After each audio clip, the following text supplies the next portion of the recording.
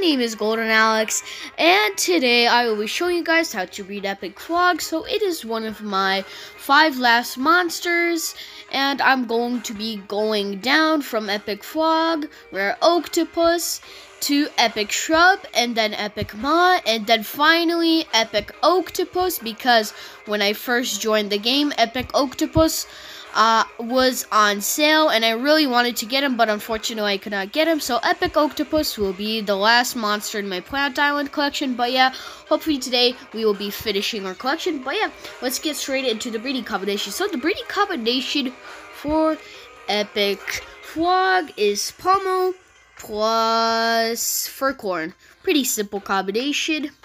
Not that bad.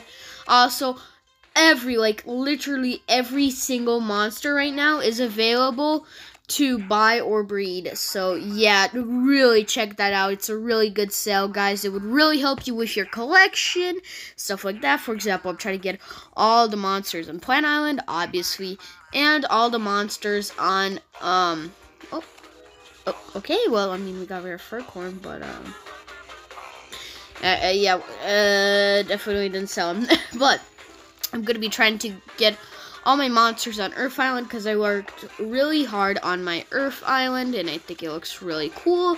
And now I just need the monsters, so yeah, I'll be working on that. And I'm probably going to make some videos, which is going to be really good for me and for you guys. So yeah, make sure to keep, uh, to keep being tuned on my channel. Uh, for more breeding guides, make sure to subscribe and turn on notifications. By the way, if this takes too long, I would just keep going. Well, if it doesn't take too long, I'll just keep going at a normal pace. If it does, then I will speed it up. But, uh, yeah, let's do this. Wait, no, the week is it. Oh, finally, we got it, boys. We finally got Epic Fwog. Holy crap. After three years of work, I got him.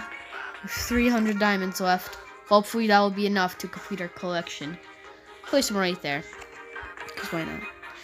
Alright guys, that's basically going to be it for the video. I hope this tutorial helped you guys. And yeah, see ya.